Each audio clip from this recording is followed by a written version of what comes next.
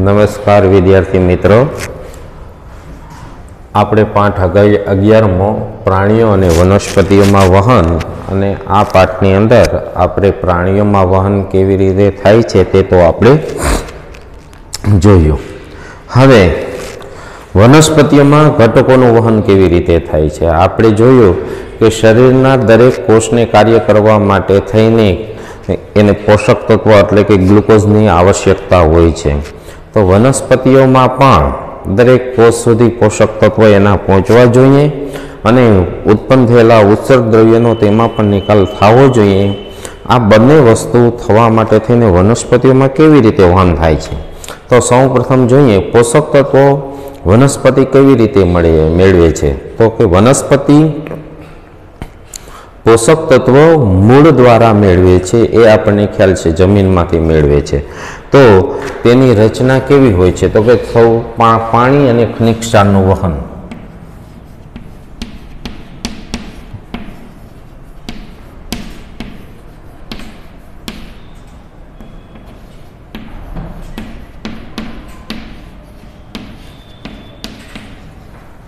જમીનની અંદર વનસ્પતિઓના જે મૂળ આવેલા હોય છે. સચે ટાઈપ આ પ્રકારના જે મૂળ આવેલા હોય છે, તેની ઉપર નાની નાની એક રચના હોય છે, આને મૂળ રોમ કહેવામાં આવે છે. આ મૂળ રોમ છે, એ જમીનના કણો વચ્ચેના પોલાણમાં જઈ અને તેમાંથી તે ખનિજ અને ખનિજ ક્ષારો અને પાણીનું શોષણનું કાર્ય કરે છે. આ મૂળ રોમ એ તેની શોષક સપાટી, શોષણ માટેની સપાટી વધારવાનું પણ કાર્ય કરે છે. આવી રીતે શોષક તત્વોનું જમીનમાંથી શોષણ થાય છે. હવે તે આ જે ઉત્પન્ન થયેલા પોષક તત્વોની દર વનસ્પતિના દરેક ભાગને આવશ્યકતા હોય છે. પ્રકારને પણ હોય છે, પર્ણને પણ હોય છે. તો તે ક્યાં, ત્યાં સુધી કઈ રીતે પહોંચે? તો કે ત્યાં સુધી તે વાહક પેશી દ્વારા પહોંચે પહોંચે છે. અને પેશી એટલે શું? તો કે ચોક્કસ ફરીથી એકવાર વ્યાખ્યા નોંધી લેશો. તમારી શેટ નોટ લઈને બેઠા જશો તમે. ચોક્કસ કાર્ય કરવા માટે થઈને એકત્રિત થયેલા કોષોના સમૂહને પેશી કહેવામાં આવે છે. આવું જે વહનનું કામ કરે તે પેશીને શું કહેવાય? તો કે વાહક પેશી કહેવામાં આવે છે. ખનિજ સાર અને પાણીનું વહન કરે તેને જલવાહક પેશી કહેવામાં આવે છે.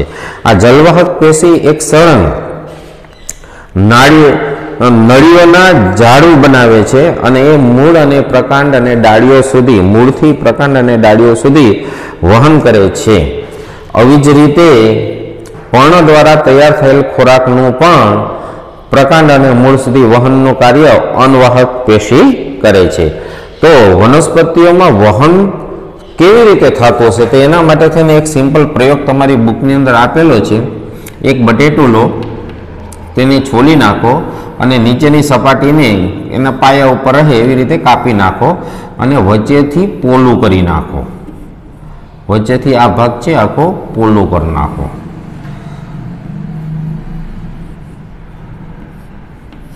અને આની અંદર તમે શું કરો તો કે ખાંડનું દ્રાવણ ભરો અને ખાંડનું જેટલું દ્રાવણ ભર્યું હોય ત્યાં એક ટાંચણી મારી દો. એટલે તમને લેવલ ખબર પડે. આ ટાંચણી છે, કમસે કમ ખાંડના દ્રાવણથી થોડી ઊંચી રહેવી જોઈએ. હવે આને તમે પાણી ભરેલી ડીશમાં મૂકો. તો શું થશે? તો કે થોડી વાર પછી જોશો તો આનું લેવલ ઊંચું હોઈ ગયું છે શા માટે? તો કે આ બટેટા એ છે, પાણીનું શોષણ કરે છે અને ઉપર સુધી પહોંચાડે છે. અને આના માટે થઈને જે સિદ્ધાંત લાગુ પડે છે તેને આપણે બકનળીનો સિદ્ધાંત કહીએ કહીએ છીએ. બકનળીનો સિદ્ધાંત આપણને ઘણીવાર જોવા મળે છે. જેમ કે દીવલ એટલે કે તેલમાં બોલે બોરેલી વાટમાં તેલ ઉપર સુધી પહોંચી જાય છે, એ પણ બકનળીનો સિદ્ધાંત છે. સ્ટ્રોને તમે પાણીમાં મૂકો તો પાણી થોડું ઉપર ચડે છે, એ પણ બકનળીનો સિદ્ધાંત છે.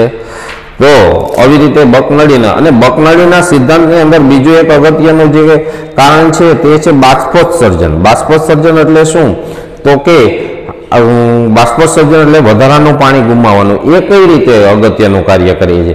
તો કે ઉપરના કોષો છે એ પાણી ગુમાવે છે, અને ગુમાવે છે એટલે ત્યાં એક પોલાણ જેવી રચના થાય છે, અને એક પ્રકારનો દાબ ઉત્પન્ન થાય છે. દાબને લીધે પાણી ઉપર તરફ ખેંચાય છે, જેને ચૂસક પુલ પણ કહેવામાં આવે છે અને તે બકનળીના સિદ્ધાંત ઉપર કાર્ય કરે છે.